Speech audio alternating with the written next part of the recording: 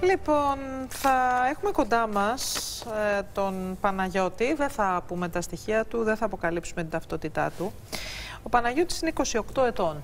Ένα νέο παιδί, έχει οικογένεια, έχει γίνει και μπαμπάς προσφάτως, ο οποίος κάποια στιγμή, λόγω ενός τροχαίου, είχε ένα πρόβλημα ορθοπαιδικό στο πόδι του.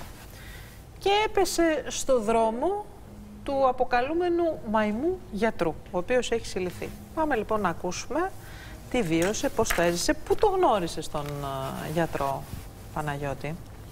Ε, σε ένα νοσοκομείο. Σε ποιο νοσοκομείο έγινε η πρώτη συνάντηση; Ε, έγινε στο, στην Νίκαια.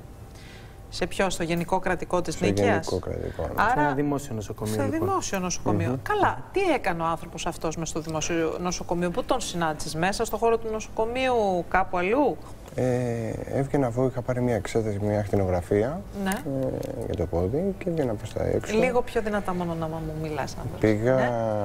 για καφέ με ένα φιλεράκι μου στο νοσοκομείο απ' έξω και τον είδαμε εκεί πέρα. Τον γνωρίσαμε εκεί πέρα.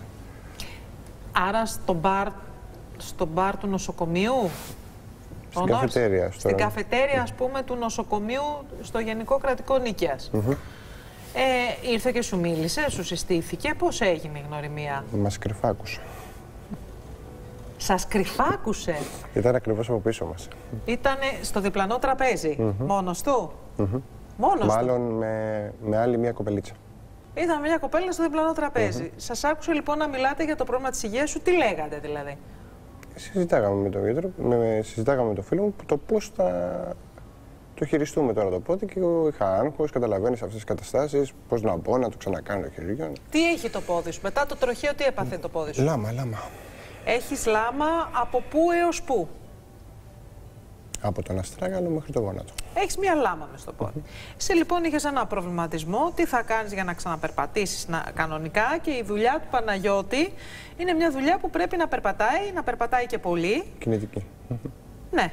Είναι μια δουλειά, να πούμε, στον ευρύτερο χώρο της εστίασης εργάζεσαι, που πρέπει να. Εργαζόμουν. Εργαζόσουν, που χρειάζεσαι να είσαι πολύ κινητικός έτσι και πολύ ορθοστασία. Άρα δεν μπορούσες να δουλέψεις αν δεν έφτιαχνες το πόδι. Και έχεις οικογένεια, έχεις παιδί, προσπαθούσες να βρεις έναν τρόπο να γίνεις γρήγορα καλά.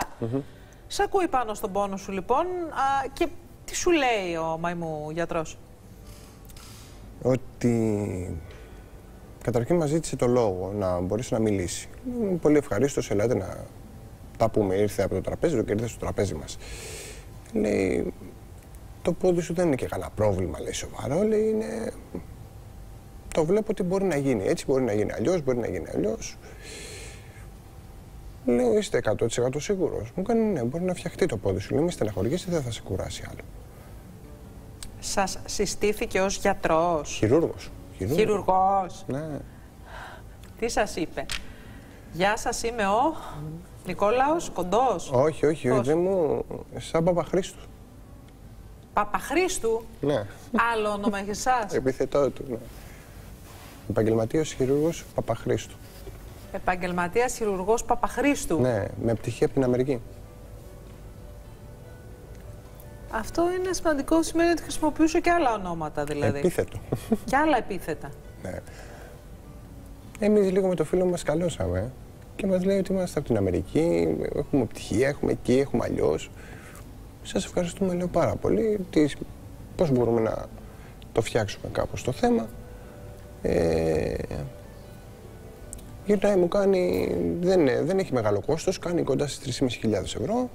Φέρω μου τις εξετάσεις, θα βρεθούμε στην Αγία Παρασκευή σε μια καφετέρια την επόμενη μέρα να, σου, να, μας, να σε βοηθήσουμε να ξεκινήσουμε την παραπέρα. Μην το καθυστερούμε λέει και πάρα πολύ. Να μην σου δημιουργήσει πρόβλημα με τη θερμοκρασία. Να σε ρωτήσω κάτι, Παναγιώτη. Να με ρωτήσετε. Ήσουν μέσα σε ένα νοσοκομείο δημόσιο με πολύ καλούς γιατρούς, σε είχαν χειρουργήσεις, σου είχαν φτιάξει μέχρι νοσημείου το πόδι. Τι σε έκανε να εμπιστευτείς αυτόν τον άνθρωπο, γιατί εκτός από σένα είναι Το βλέμμα. δεκάδες οι άνθρωποι που τον εμπιστεύτηκαν. Άνθρωποι, άνθρωποι οι οποίοι είναι ε, με πτυχία πανεπιστημίου, άνθρωποι οι οποίοι είναι διακεκριμένοι, μέχρι και γιατροί τον, εμπισκε- ε, τον επ- ε, εμπιστεύτηκαν. Τι είχε αυτός ο άνθρωπος που σε έπεισε; το βλέμμα του, ο χαρακτήρας του, η ομιλία του ήταν ένας άνθρωπος που σε, σε τράβαγε να πάει να την κάνεις. Δηλαδή ε, δεν σε άφηνε καθόλου στο άγχος. Το να μην, να μην φοβάσαι τίποτα σου δίνει δηλαδή και ψυχολογική υποστήριξη. Δηλαδή σε έκανε τόσο πολύ το βλέμμα του ε, και η ομιλία του να, να, να πας με χίλια, δηλαδή να πληρώσεις όσο και όσο για να σε χειρουργήσει. Ενώ είναι κάποιοι άλλοι γιατροί που είναι λίγο σκληροί. Σου λένε, κοίταξε να δεις, συμβαίνει αυτό και αυτό. Εκείνος σε πήγαινε κάπως, πώς το λένε. Οι γιατροί συνήθως λένε την αλήθεια όσο σκληρή. Την αλήθεια, ναι. Εκείνος το πήγαινε λίγο πιο ρομαντικά να το πω. Το πόδι έχει σοβαρό, είναι αυτό, έχεις τη λάμα μέσα, δεν βγαίνει τώρα ή πρέπει να περιμένεις mm -hmm. κάτι. Εσύ ήθελες να γίνεις γρήγορα καλά, να πας ναι, να δουλέψεις, ναι, ναι. να βγάλεις μεροκάματο για την οικογένειά σου. Mm -hmm. ε, αυτός λοιπόν αυτό που λες είναι ότι το βλέμμα τους σε επιθέ και σου έπαιρνε κάθε ανασφάλεια. Πατούσε στη δική σου ανασφάλεια και πόνο και σε έκανε να νιώθεις ότι αν ακουμπήσεις πάνω του θα είσαι ασφαλής, ότι θα γίνουν όλα καλά, μαγικά θα περάσουν όλα, ε. Ναι, εμένα και... και του φίλου μου. Ψαρώσα, ε, δηλαδή... Ψαρώσατε, ναι. Πες Ψαρώσαμε, το, απλά, ναι, Πώς το αισθάνεσαι. Σκαλώσαμε, λέμε, ο Θεός τον έστειλε. Ο Θεός τον έστειλε, λέει εκείνη την ώρα. Γιατί πραγματικά δεν είναι. Ο χειρουργός που είχε αναλάβει το πόδι μου, συγχωρέθηκε ο άνθρωπος τότε, που ήταν στο ΚΑΤ, το νοσοκομείο. Ε, και εμείς ε, πήγαμε στην Νίκη να κάνουμε την τέτοια. Και λέω: Εντάξει, αφού βρέθηκε αυτός ο άνθρωπος και πατήσαμε πάνω σε αυτόν, ναι, Πάμε να το κάνουμε. Πάμε το συναντά στην καφετέρια στην Αγία Παρασκευή, είπες σου κλείσει σε άλλη καφετέρια. Ναι, μου κλείσει σε άλλη Παρασκευή. Ναι. Να είστε και μακριά από γιατρούς και. Και μάλιστα έχασε και τις εξετάσεις μου ήταν Του έδωσες τις εξετάσεις τις οποίες ναι. τις έχασες στη συνέχεια. Ναι, μου τις πήρε. Σου πήρε τις εξετάσεις. Ναι. Θέλει τις γνήσεις, ήθελε τις γνήσεις. Από τους γιατρούς που είχα περάσει, από το ιστορικό που είχα περάσει. Και θέλει το γνήσιο. Γιατί του πήγα το τέτοιο για να τα βγάλεις σε μια φωτοτυπία. Πήρε τα λεφτά και εξαφανίστηκε. Και τα Συγγνώμη, έβγαλε φωτοτυπία τον εξετάσεων. Εσύ όταν το συνάντησες στην καφετέρια πήγες με τα λεφτά και πόσα λεφτά του έδωσες; 3.500 ευρώ. Και μάλιστα τα μάζευα. με αρκετό ζόρι. Να πούμε ότι ο Παναγιώτης... Δανείστηκα από πολλές φίλους. Ο Παναγιώτης είναι ένα παιδί του μεροκάματο που λέμε. Ένας αγωνιστής της ζωής. Από τα παιδιά που βοηθάνε πάρα πολύ τον πλησίον, από τα παιδιά που αν έχουν ένα 20 ευρώ στην τσέπη που μπορεί να τους περισσέψει, δεν θα πιούν καφέ, θα το δώσουν στο, στο συνάνθρωπο. Έτσι. Ναι, Αυτός ναι. είναι. Ίσως γι' αυτό και είναι πολύ καλό παιδί ο ίδιος, γι' αυτό εμπιστεύτηκε και τόσο εύκολα. Θεωρεί ότι είναι καλοπροαίρετο, ότι οι άνθρωποι είναι και αυτοί καλοί όπως αυτός. Ο Παναγιώτης λοιπόν μάζευε αυτά τα 3,5 χιλιάρικα. Κάποια τα είχε μαζέψει από τη δουλειά του, ήταν η ασφάλειά του. Είχα μαζέψει 2 χιλιάρικα. 2 χιλιάρικα και δανείστηκα 1,5 χιλιάρικα από 5 φίλους. Τα 2 χιλιάρικα πρέπει να ήταν η ασφάλειά σου, έτσι. Γιατί είσαι μεροδούλη, μεροφάι. Δηλαδή ναι, ναι, δουλεύεις, ναι. τα ξοδεύει. Δουλεύεις, τα ξοδεύεις για την, ε, το μωρό σου και τη γυναίκα σου. Mm -hmm. ε, δεν ήταν το μωρό μου τότε. Δεν υπήρχε τότε. Απλά θέλαμε τρεις μήνες για να γεννήσει η γυναίκα. Ήταν έγκυος όμως η γυναίκα σου. Ναι, ναι. Ξέρουμε τι, τι κόστος έχει μια εγκυμοσύνη. Ε, τα έξοδα. Έχεις μαζέψει δύο χιλιάρικα για να γεννήσει η γυναίκα σου έτσι, και να έχετε για το μωρό. Και ένα μισή χιλιάρικο που πήρα. Και δανείστηκες σε ένα μισή χιλιάρικο. Από πέντε φίλους σου. Συγκεκριμένα. Και αυτός ο άνθρωπος, ο κατηγορούμενος, ήρθε και άρπαξε από ένα παιδί σαν και σένα. Μέσα σε 24 ώρες. Το αίμα σου ήπια στην ουσία. Ναι, ναι, ναι. Με γονάτισε. Σου ήπια το αίμα. Σε εκμεταλλεύτηκε και σου ήπια το αίμα. Εγώ με γονάτισε αυτός ο άνθρωπος και πραγματικά θέλω να έρθει να μας πει γιατί το έκανε αυτό. Γιατί εγώ στερήθηκα από την οικογένειά μου πολλά. Και στερώ από την οικογένειά μου μέχρι τώρα. Πάρα πολύ. Να έρθει να μου πει γιατί το έκανε, γιατί. Πραγματικά γιατί το έκανε. Γιατί έπρεπε να κοροϊδέψει και να πεθάνει τόσο κόσμος;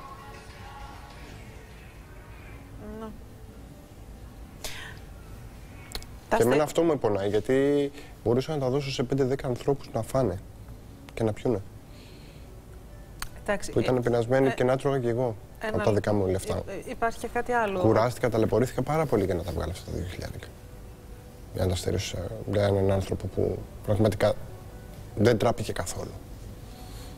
Ξέρουμε πάρα πολύ καλά και πόσο δύσκολη είναι η δουλειά στον χώρο της εστίασης και ξέρουμε πάρα πολύ καλά και πόσο δύσκολα μαζεύονται χίλια ευρώ στην πάντα ή δύο για να έρθει το παιδάκι στον κόσμο. Αυτή τη στιγμή έχεις ένα πρόβλημα στο πόδι που δεν μπορείς εύκολα να εργαστείς ακόμα.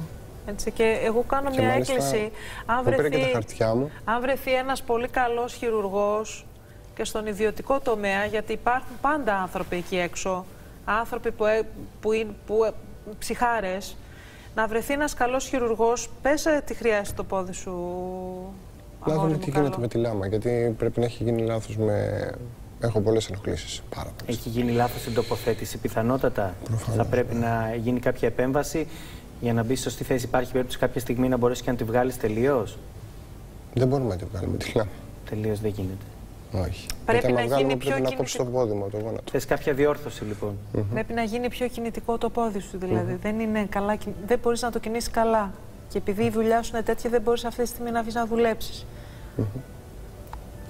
Η γυναίκα σου δουλεύει ή μόλις γέννησε; Όχι, όχι, δεν δουλεύει. Κρατάει το παιδί στο σπίτι. Άρα δεν μπορείτε να βιοποριστείτε. Πλέον. Έτσι πώ έχουν γίνει τα πράγματα. Ναι. Περνάμε πολύ δύσκολα. Βιοπορίζεστε πώς; Από φορείς. Ε, εγώ κάνω έκκληση αν βρεθεί ένας καλός, θέλω να βρεθεί ο καλύτερος χειρουργός, ο καλύτερος, ο καλύτερος χειρουργός, να βοηθήσει τον Παναγιώτη. Αυτό είναι δική μου πρωτοβουλία, δεν το συμφωνήσαμε πριν έρθει, αλλά έτσι μου ήρθε αυθόρμητα, γιατί σε είδα να συγκινείσαι και να στεναχωριέσαι και δεν μπορώ. Με έχει ταλαιπωρήσει γιατί εντάξει. Ήθελα να τα κάνω αυτά τα μάζευα κρυφά και να τα δώσω στη γυναίκα μου μετά από εκεί και πέρα να μπορέσει να καλύψει πολλά έξοδα του παιδιού που τώρα τα στερούμαστε για αυτόν τον άνθρωπο. Στερούμαστε πολλά πράγματα για το παιδί μου. Και δεν θέλω να είμαι σε αυτή τη φάση, να είμαι σε ένα καναπέ και να βλέπω την οικογένειά μου να περνάει αυτή τη δυσκολία. Να μου λέει ότι πρέπει να πάρουμε αυτό για το μωρό, να παίρνουμε εκείνο για το μωρό και να μην μπορώ να το πάρω. Να περιμένω να έρθει ο μήνας για να πάρω το επίδομα να καλύψω πολλά. Εμένα αυτό μου έχει, μέσα στον ένα χρόνο μου έχει στοιχήσει όλη μου τη ζωή. Με έχει καταστρέψει σαν Παναγιώτη. Αυτό το κομμάτι. Αυτή είναι η κακία του πραγματικά αυτού του άνθρωπου. Αυτή η κακία του εμένα μου στέρισε πάρα πολλά. Πήγε, δηλα- πήρε Αναγκάστηκα δηλαδή, να βγω και έξω στους δρόμους να παρακαλέσω για να πάρω το γάλα του παιδιού. Επειδή κατάφερε αυτός ο άνθρωπος να καταστρέψει τα όνειρά μου μέσα σε πράγματα δευτερολέπτου. Μου έρχιζε ότι σε μία εβδομάδα από τώρα θα είναι μια χαρά το πόδι μου για να πάω να εργαστώ. Θα μπούμε στο χειρουργείο και τις επόμενες μία εβδομάδα θα ήσουν μια χαρά. Με το χαμομήλι. Να παίρνω και χαμομήλι. 3,5 χιλιάρια για χαμομήλι και θα γινόσουν καλά, έτσι. Όχι, θα με χειρουργούσε. Θα σε χειρουργούσε σε και ένα μετά... συγκεκριμένο νοσοκομείο. Ναι. Ε, και μετά λέει μέσα στη βδομάδα θα πήγαινα να πάμε μια χαρά. Εκείνη που σκάλωσα. Ότι πραγματικά λέω τι γίνεται ρε παιδιά. Λέω μέσα στη βδομάδα θα γίνει μια χαρά εφόσον έχει γίνει χειρουργείο και είναι τόσο μεγάλο το πρόβλημα. Και μάλιστα μου στέρισε και τα έγγραφα για το, τα γνήσια και δεν κατάφερε να πάρω και το επίδομα αναπηρίας. Αυτός ο άνθρωπος με κατάστρεψε και πραγματικά να βγει, να τον βγάλουν και να ζητήσει ένα μεγάλο συγγνώμη από όλο τον κόσμο. Γιατί εδώ υπάρχουν πάρα πολλοί το οποίο έχουν χάσει ανθρώπους, συγγενείς, θανόντες. Εγώ με το που βγήκε στην τηλεόραση καραφλιά, καράφλιασα. Ήμουν ξαπλωμένος, ξεκουράζα το πόδι μου και με παίρνει ο φίλος μου μου λέει αυτός είναι ο γιατρός. Λέω δεν το καταλάβω. Ήθελα να μπούμε στην τηλεόραση να τον, να τον σπάσω, στο, να τον διαλύσω. Παναγιώτη, εγώ θέλω να σου πω το εξής. Ε, να μην σε κάνει ο άνθρωπος αυτός να χάσεις τη δύναμή σου και το κουράγιο σου. Και Δεν μπορώ όμως, μπορείς στο, Τατιάνα μου, να ξεφτυλίζω μάλλον. στο παιδί σου μπορεί να μην έχεις αυτή τη στιγμή να προσφέρεις το γάλα έτσι όπως θα ήθελες, αλλά είναι πολύ τυχερό το παιδάκι σου.